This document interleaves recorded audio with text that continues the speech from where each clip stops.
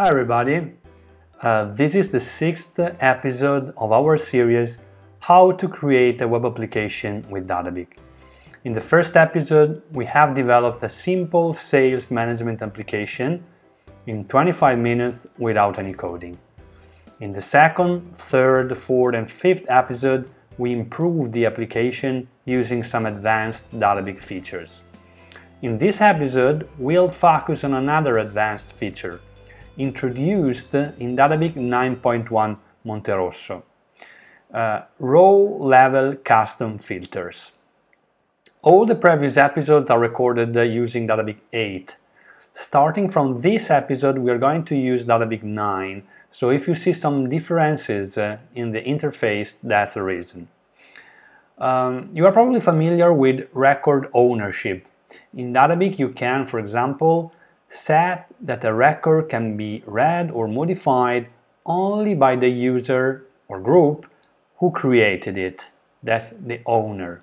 It's very useful in many situations and we used this feature in the first episode. Do you remember? We set for the sales agents, they were in the group the default, the default group, the uh, read permissions for sales table to my, so that each agent could only see the sales he or she registered.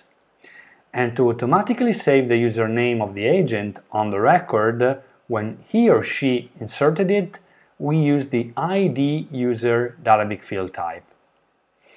Okay, I'm logged in as a root at the moment. I can see all the sales, but if I log in as Alfio, one of the sales agents, I can only see my sales. Uh, that worked fine, but sometimes uh, it is not enough. Sometimes, in fact, you want the records to be filtered by some criteria which is not related to the ownership. For example, let's say that instead of showing to each agent the sales they registered, we want to show to each agent the sales related to their geographic area. Um, can you do that using owner permission? Uh, not easily. Uh, you could create a different user group for each geographic area and use the use ID group for ownership uh, parameter in the configuration file to use the ID of the group instead of the username of the user for the ownership but this is not an optimal solution. If you have many geographic areas, you would have many groups uh, and for each group you have to set the same permissions, which is not a very elegant solution and you will also waste time uh, managing that. Um, with row level custom filters, you can just create a custom filter. Let's see how. First of all, we need some additional information, additional fields in our database in this case. So I added the field geographic area but to the table sales and to the table DaDaBIK users. So now for each sale we have the geographic area and for each user we also have the geographic area.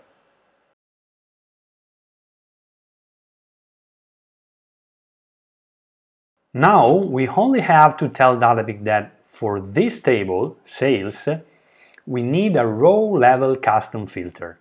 So in custom functions.php, we write something like this.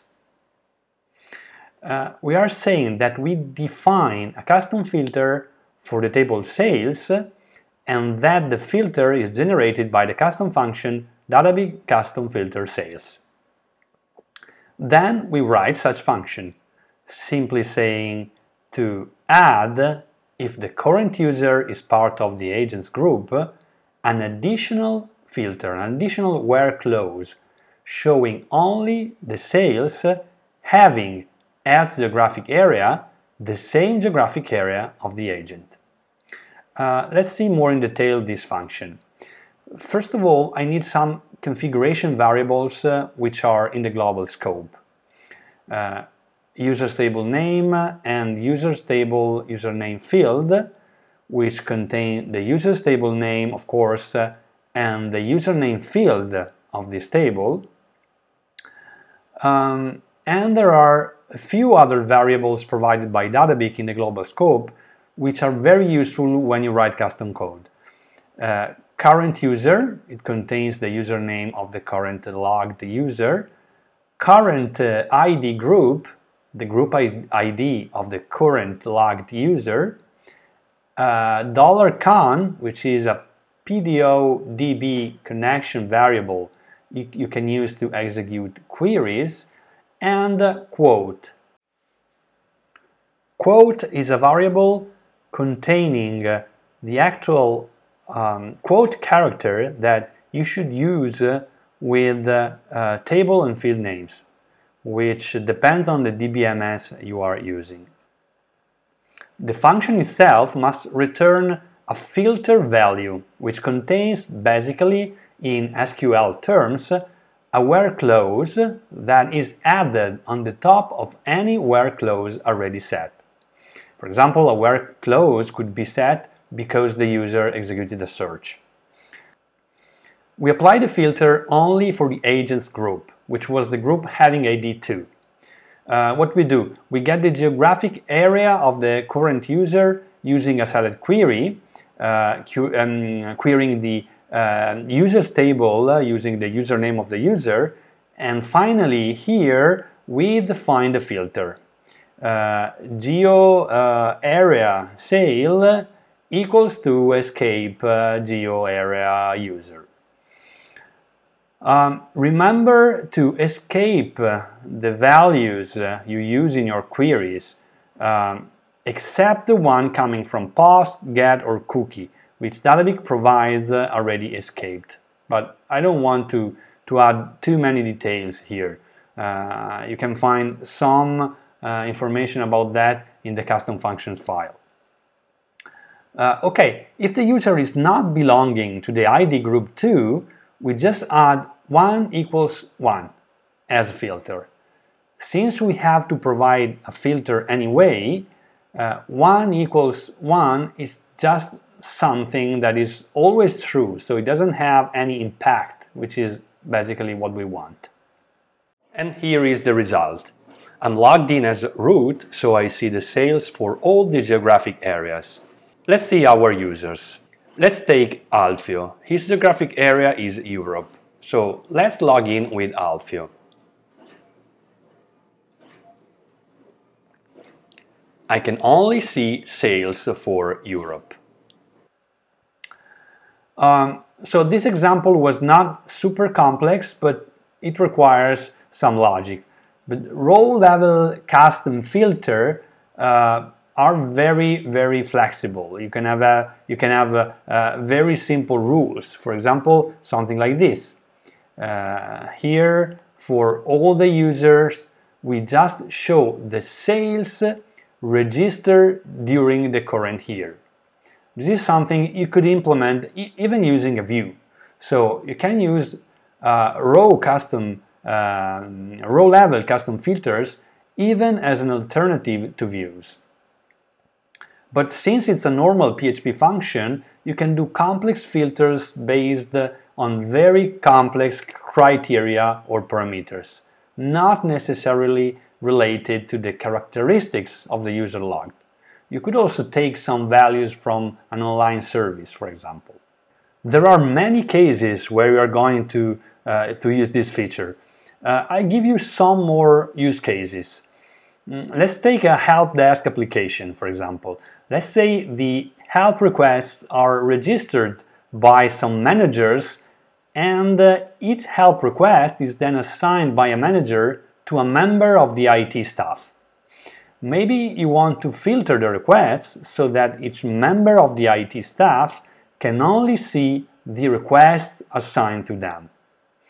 Uh, you can probably do this with four or five lines of code with this feature.